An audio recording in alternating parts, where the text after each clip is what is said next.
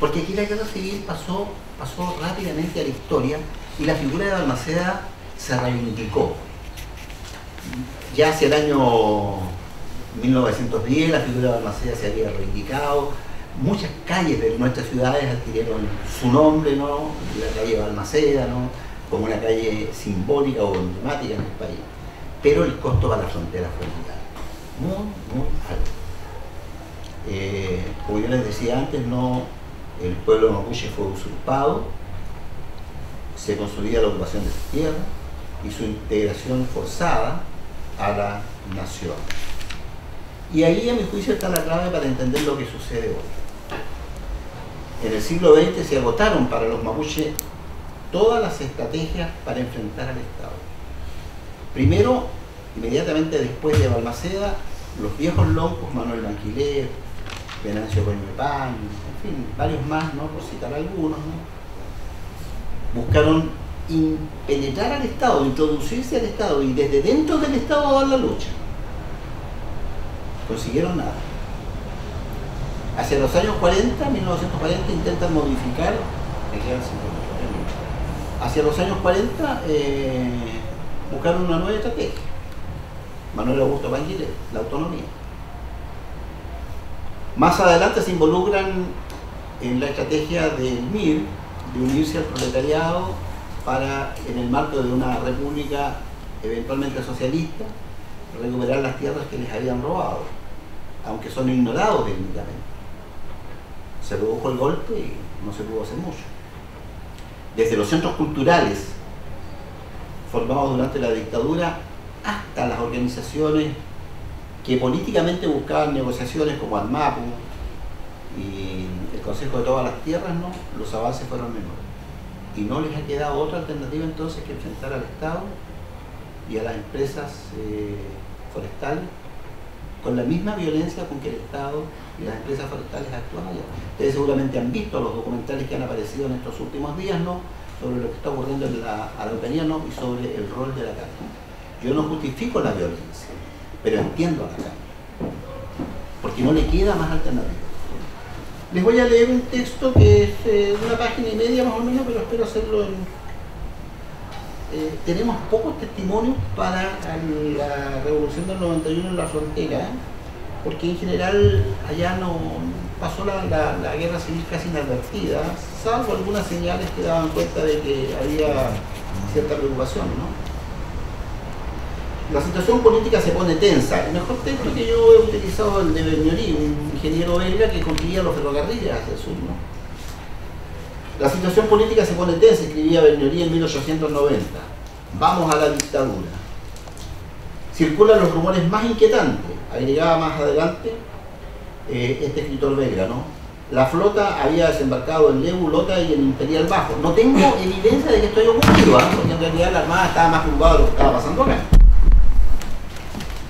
En Temuco la alarma es mayor. El coronel Alberto Gándara, del ejército, ¿no? que acababa de asumir eh, como intendente, ¿no? se, esforzaba en calmar a la población.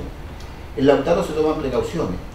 Fuera de los bandidos que infestan los alrededores, había que tener en cuenta a los obreros del ferrocarril que comenzaban a agitarse. Los, obreros del ferrocarril ya eran una amenaza. Había que reclutar gente y de eso se encargan los agentes del gobierno. La gente rehúsa, pero se logra al fin armar los batallones esos batallones no se movían de la frontera. Traerlos hacia la zona central era muy difícil. El ferrocarril recién estaba empezando a circular. Al principio no se podía proporcionar un uniforme completo a los nuevos reclutas.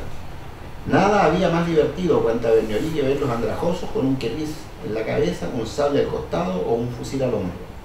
Sin embargo, el roto chileno recupera muy pronto sus derechos y en muy poco tiempo, concluye el ingeniero belga, llegan a ser excelentes soldados. Después de la agitación de enero, escribe este ingeniero, ¿no? ha vuelto la calma a la región del sur. Escribía en febrero de 1891. Estamos casi sin noticias de lo que pasa en el norte. Recibimos los diarios gubernamentales, los únicos que aparecen todavía, pero no informan nada. De creerlos, la tranquilidad más completa reina en Santiago. Naturalmente las conversaciones giran sobre la revolución, pero las noticias son escasas y el interés comienza a calmarse. Muchos opositores notables han juzgado prudente huir y esconderse en las haciendas. los que quedan están forzados a guardar silencio. Fíjense usted que ya pasaba todo lo contrario, ya los que se escondían eran los congresistas, los que iban a ganar en la revolución. Porque, insisto, allá el ejército era balmacedista. En marzo las cosas se veían con más claridad. Las noticias de la revolución nos llegan por verdaderos retazos y son malas para el gobierno. Las provincias del extremo norte están perdidas para Balmaceda. Mientras tanto, el Lautaro se seguía viviendo apaciblemente. Eh, la tesorería de Temuco pagaba con regularidad los sueldos y la Pascua de Resurrección se celebraba como los mejores tiempos con ramadas, cantos, bailes y un vino que corría generoso. Si ustedes se dan cuenta, la revolución del 91 prácticamente pasó inadvertida en la frontera.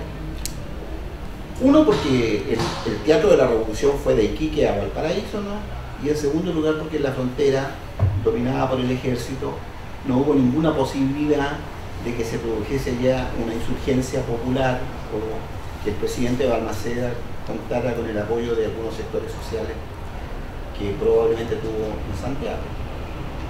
De esta manera, a la revolución del 91 en la frontera la mediría por lo que está pasando hoy día. Hoy día estamos hablando de las consecuencias de un proceso que estaba dando término a ese camino que recorrimos desde mediados del 17, morir en la frontera. Allí, allí murieron los sueños de Balmaceda, los sueños de un Chile industrializado, moderno, etcétera, etcétera. Y estábamos dando curso a un nuevo ciclo, el del siglo XX. Muchas gracias.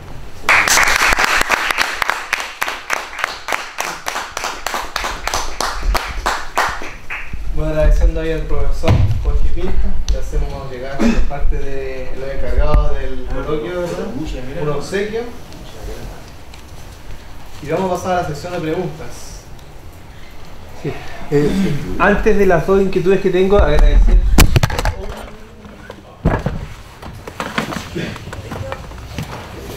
Después lo editamos.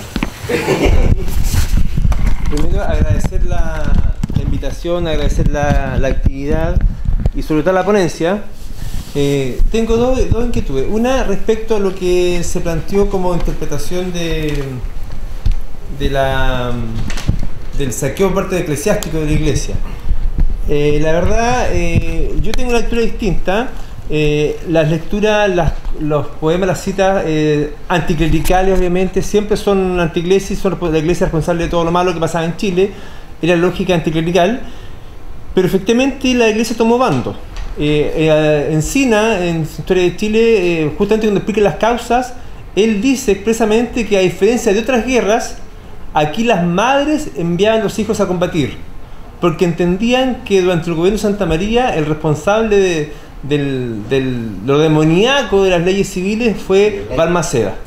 Entonces, efectivamente, había cierto consenso, tanto historiográfico como político, solo en la época, de comillas, la, la parcialidad o desconfianza de la iglesia hacia Balmaceda. Lo que entendíamos que favorecía a los congresistas, que eran tan liberales más que Balmaceda. O sea, no, aquí no habían bueno y malo, digamos, una, fue una, una fractura de la élite. Y dicho esto, la otra inquietud, y, valoro mucho tu, trabajo porque eh, justamente el tema de la, del, salvajismo, de la, del, bandolerismo o las, eh, expresiones al margen de la, del orden establecido eh, siempre son cuestionadas y castigadas. En cambio, los saqueos, en el contexto de armamento de, de un hecho bélico, son favorecidas por los vencedores, por la ley vencedora. el bajo pueblo, el sujeto popular, eh, tú lo viste que fue instrumentalizado. Yo creo que hay una instancia que es como, no, digo que sea natural, pero es común o recurrente, y lo vimos para, el terremoto del 2010, por ejemplo, cuando con la estrategia de sobrevivencia el saqueo. En un conflicto de guerra civil donde no hay nada garantizado, el peonaje, el, gente popular, eh, se aseguraba su sobrevivencia con el saqueo. No estoy justificando el saqueo, ¿ah? estoy contando que históricamente ha sido así. Y el saqueo eh, muchas veces se plantea como la pugna o resultante entre el, orden y el caos. Entonces el orden social se establece por leyes, policía, etcétera, lo que conocemos, control social. Y el saqueo es todo lo contrario, es el caos. Pues aquí el saqueo, como tú bien explicaste, no fue el caos. El saqueo estuvo dirigido. Ahí hablábamos de las listas negras. Cómo vecinos y hasta familiares se indicaban a quienes debían ser ajusticiados en el lugar cómo se marcaban las casas, cómo se destruía selectivamente. Y esto, eh, no la historiografía chilena no lo recoge, pero para la guerra de independencia fue igual. Y fue peor porque había leyes que le quitaban todos los realistas. Pero la historiografía dice que eran los malos, entonces está bien que le quitemos todo. Pero aquí no, aquí no hay buenos ni malos, eran todos chilenos.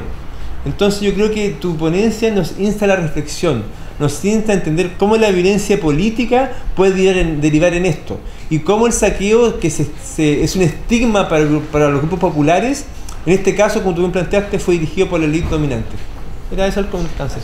¿Contamos las preguntas? ¿No? Ya, contemos las preguntas para evitar eh, mira otra pregunta. Eh, he oído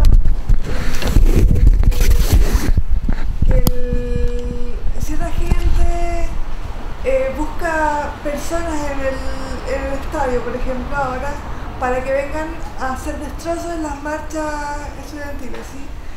Eh, bueno, me imagino que también, o sea, ocurrieron los saqueos, donde iba, acá en Valparaíso, donde eh, protagonizados por el Bajo Pueblo, tú dices, quizá pueda haber, eh, por ejemplo, esos militares que también participaban, ellos ocasionaban los destrozos mayores, ¿puede ser eso? Mm. Eh, vayamos por orden. Primero las preguntas de que justamente contextos acá. Eh, de donde yo saqué las citas de, de, los poemas, era gente que en este momento, en 1892, 1893, estaba en contra de de Jorge Montt, del gobierno parlamentario. Pero en 1891 estaba en contra de Balmaceda. Así que esto nace como una nace como una como reivindicar los destrozos que trajo el gobierno parlamentario al llegar al poder mediante el saqueo, combate de Brasilia, combate de Concon. Y lo que dice usted es completamente cierto, ya que la iglesia siempre se ha abanderado por el sector más conservador. Y en este sentido, las medidas legalizantes de Balmaceda están en, disputa con la hegemonía de control que quiere instaurar la Iglesia en el territorio nacional.